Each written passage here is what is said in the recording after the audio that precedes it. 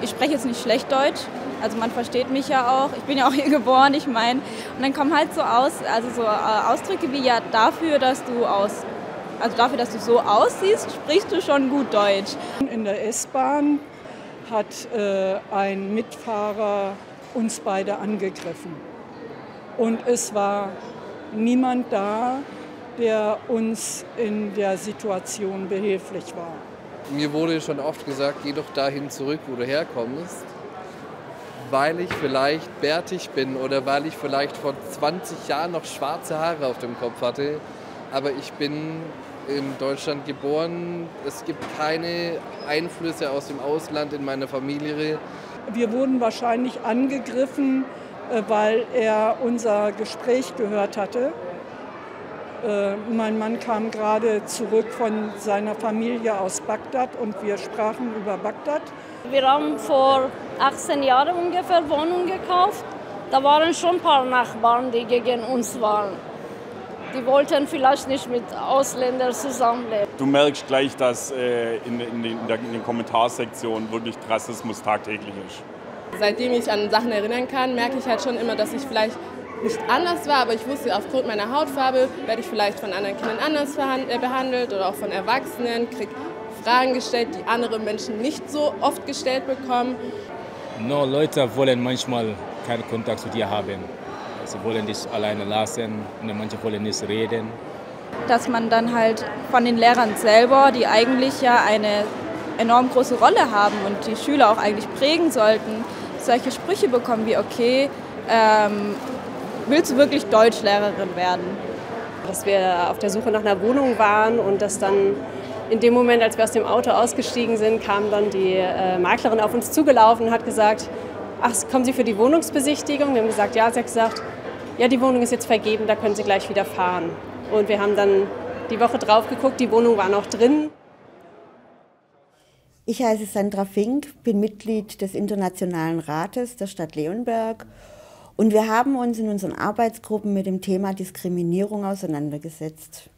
In unserer Arbeitsgruppe ging es Schwerpunktthemen mit Kindergärten und Schulen und wir waren uns alle sehr einig, dass dieses Thema Diskriminierung besonders in Schulen und in Kindergärten ein sehr wichtiges und sensibles Thema ist. Wir waren uns einig, dass wir ein Projekt starten würden an den Schulen, wo wir mit einem Film die Kinder und Lehrer mit in Diskussion nehmen würden, um dort das Thema zu sensibilisieren. Ja, ein äh, allgemein bekanntes Problem für alle äh, Menschen ist äh, heutzutage die Wohnungssuche. Aber besonders Menschen mit Migrationshintergrund ähm, haben es deutlich schwerer, denn aufgrund der Herkunft, ähm, des Aussehens oder auch des Namens bekommen diese nicht mal die Chance, nicht eine Wohnung anzuschauen, geschweige denn zu mieten. Und ähm, ja, um diesem Notstand auch entgegentreten zu können, ähm, überlegen wir uns hier im Internationalen Rat ähm, verschiedene Möglichkeiten. Eine Lösung könnte sein ähm, eine, eine sogenannte Patenschaft. Der Internationale Rat der Stadt Leonberg setzt sich zusammen aus zwölf Mitgliedern mit Immigrationshintergrund und sechs Mitgliedern des Gemeinderats aus allen Fraktionen. Gerade diese Vielfalt hilft uns, die angezeigten Probleme besser zu verstehen. Die Impulse bekommen wir aus der Bevölkerung und aus eigener Reihe. Lösungsansätze versuchen wir gemeinsam mit dem Gemeinderat und der Stadtverwaltung auf den Weg zu bringen. Ähm, klar, der Alltagsrassismus ist irgendwie so präsent geworden, es gehört so sehr zu meinem Leben, dass ich es einfach irgendwie ignoriere. Klar, manchmal gibt es Dinge, wo ich mir selbst denke, okay, das, war jetzt, das ging zu weit, dann schalte ich auch selbst ein, aber...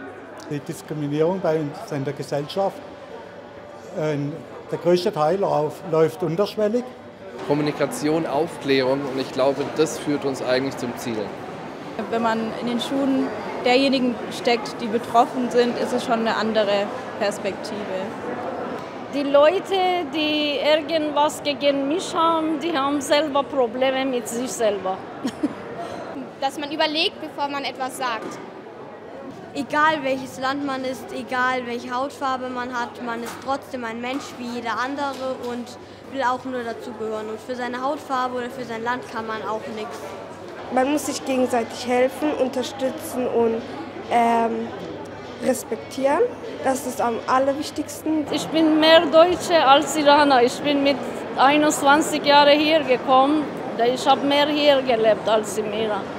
Der, erste, also der beste Schritt ist eigentlich, wenn man selber sagt, okay, ich will mich selbst informieren und man tut dann auch was dagegen. Also in meiner Welt, wenn ich groß bin, dann würde es am besten sein, wenn es überhaupt keinen Rassismus gibt. Leonberg ist bunt, Leonberg ist vielfältig und wir haben tolle Kulturen in unserer Stadt. Deshalb gibt es auch den Internationalen Rat, der ausländische Mitbürgerinnen und Mitbürger repräsentiert. Insofern ist es selbstverständlich, dass Leonberg sich an den internationalen Wochen gegen Rassismus beteiligt. Denn unser Alltag darf nicht von Rassismus geprägt sein. Wir arbeiten daran und wir sind auf dem besten Weg, das zu schaffen, dass Rassismus in unserer Gesellschaft keinen Platz mehr findet. Wir möchten uns für gleichberechtigte Teilhabe und Mitgestaltungsmöglichkeiten in politischen, sozialen, wirtschaftlichen und kulturellen Leben für alle Leonberger Bürgerinnen und Bürger und uns insbesondere für Menschen mit Migrationshintergrund einsetzen. Also ich stelle mir eine Welt äh, ohne Rassismus friedlicher vor. In dem alle so leben können, wie sie möchten, mit Rücksichtnahme und Respekt.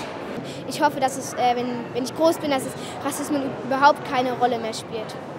Offener miteinander sind und dass wir aufeinander eingehen und dass jeder selbst entscheiden kann, was er macht und wie er ist. Dass wir alle als Menschen akzeptiert werden und jeder sozusagen gleich ist. Einfach ist, wie man ist, man geht raus und man wird nicht blöd angestarrt, man wird nicht blöd angemacht, keine dummen Kommentare und Rassismus gibt es einfach nicht. Kümmert keinen, woher du kommst, wie du ausschaust und ja. Gleichberechtigt, nebeneinander. Jeder Mensch ist sowieso gleich.